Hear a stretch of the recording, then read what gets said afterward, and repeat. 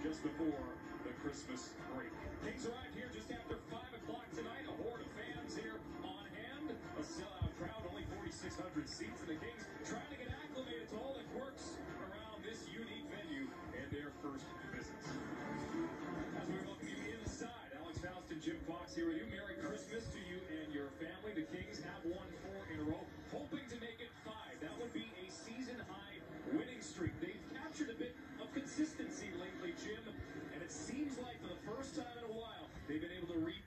on a night to night basis. The formula is working right now, so keep with the same game plan, and that is tight checking, checking for your chances that way. There's been times this year the Kings have been too aggressive. You know, all or nothing. Sometimes the nothing is okay because it's not a minus. And one thing in that back-to-back situation, you're going to need 20. You're going to need everyone up front, everyone on the blue line, both goaltenders, the guy who starts, the guy helping out. Everyone has to come together. Blake Lizotte's calling card is tenacity, and that has certainly helped out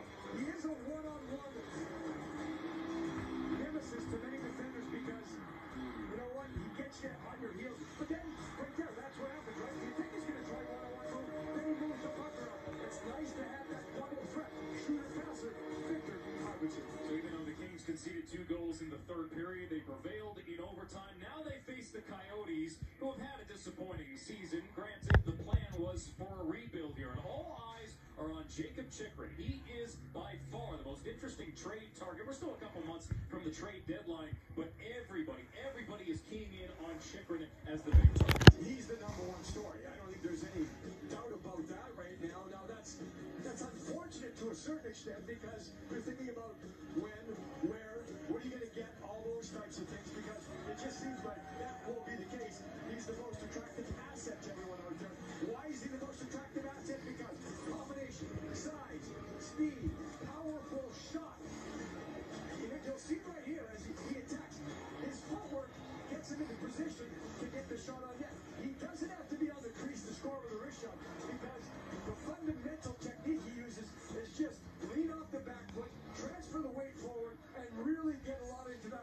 So you got to keep an eye on him. In the offensive zone, be there, take away the lane, or get in front of the body. Certainly big and skilled, uh, the guy the Kings have to keep an eye on for. Is the